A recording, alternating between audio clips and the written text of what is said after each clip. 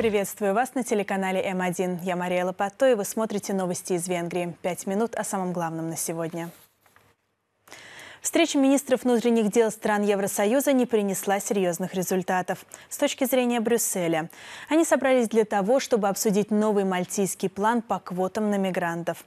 Позиция Будапешта неизменна. Венгрия отвергает систему квот и не принимает мигрантов. Я хотела бы убедить столько стран, сколько возможно, прокомментировала Мальтийское соглашение министр внутренних дел Финляндии перед заседанием Комитета по внутренним делам Европарламента во вторник. Однако очевидно, что ей не склонить большинство стран-членов ЕС на сторону Германии, Франции, Италии и Мальты, которые инициируют новое предложение по квотам. Только Люксембург, Ирландия и Португалия согласились принять мигрантов, прибывающих со стороны Средиземного моря.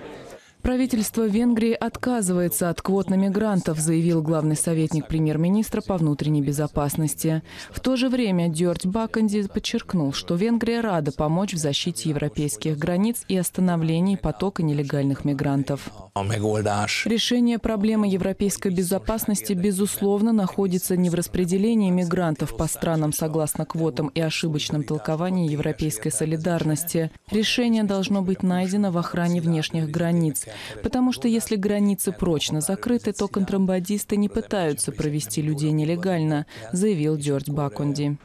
Не только Венгрия выступает против системы квот. Министр внутренних дел Чехии также отвергает квоты, так как, по его словам, они угрожают Европе. Венгрия улучшила свои позиции в рейтинге международной конкурентоспособности. По мнению Министерства финансов, это произошло благодаря эффективной экономической политике последних лет.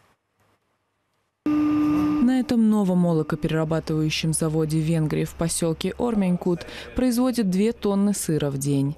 Завод был недавно сдан в эксплуатацию. Его строительство обошлось в более чем 900 миллионов форинтов. А это новый завод в городе Мишкальц. В производственном цехе, построенном на полтора миллиарда форинтов, будут производить двери и окна. Представитель мэрии на церемонии открытия заявил, сюда стоит вкладывать, так как инвестиции приносят многократную прибыль. Мишкаль заинтересован в создании новых рабочих мест с высокой добавленной стоимостью и использованием самых современных технологий. Нам надо не только поощрять приход международных компаний, но и дать шанс венгерскому малому и среднему бизнесу, в том числе из Мишкальца, пояснил чиновник. Госсекретарь по вопросам финансирования из фондов ЕС говорил о том, что венгерская экономика добилась выдающихся результатов в значительной мере благодаря венгерским компаниям, в частности из Мишкальца. В ноябре прошлого года правительство приняло программу повышения конкурентоспособности венгерских предприятий, благодаря которой в последние месяцы значительно возросла производительность венгерских малых и средних компаний. В результате в первом полугодии текущего года венгерская экономика достигла роста в 5,2%, что выделяется на фоне общеевропейских показателей. Это стало возможным также благодаря снижению налогов и упрощению системы налогообложения, а также реформам в сфере образования. Венгрия поднялась в рейтинге мировой конкурентоспособности. Сейчас у нее 47 место из более чем 140 стран. О том, что компании постоянно повышают свою конкурентоспособность, свидетельствуют и последние показатели внешней торговли. В первые 8 месяцев этого года экспорт вырос по сравнению с прошлым годом, а профицит торгового баланса составил более 3 миллиардов 300 миллионов евро.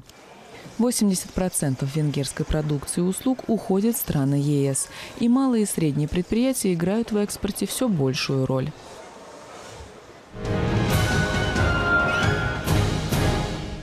Осень – прекрасное время для посещения Хартабадской степи. Первый национальный парк Венгрии стал объектом всемирного наследия ЮНЕСКО 20 лет назад, а сейчас попал в топ-20 телеканала CNN как один из самых красивых пейзажей Европы.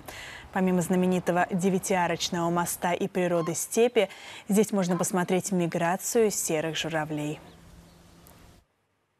В холле университета города Мишкольц открылась выставка «Венгры на Великом Шелковом пути». Через фотографии и письма археолога Ауреля Штайна здесь представлены семь десятилетий венгерско-китайских отношений.